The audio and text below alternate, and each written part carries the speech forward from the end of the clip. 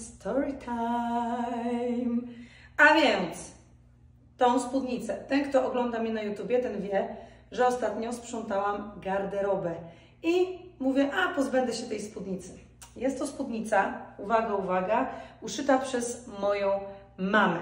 Jak widzicie, góra jest od Big Stara, proszę bardzo, a ten dół, i tu się zaczyna cała historia. Ten dół to jest ileś tam procent jedwabiu, plus jeszcze jakiś materiał, ale ogólnie jest to bardzo dobry jakościowy materiał, oddychający.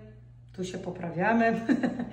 I jeżeli chodzi o tą całą historię tej spódnicy, to ten dół to była inna spódnica, którą moja babcia, uwaga, kupiła w Warszawie w jakimś lumpeksie 70 lat temu, ok? Ta spódnica może mieć i więcej nawet, bo uwaga, spódnica miała amerykańską metkę, że była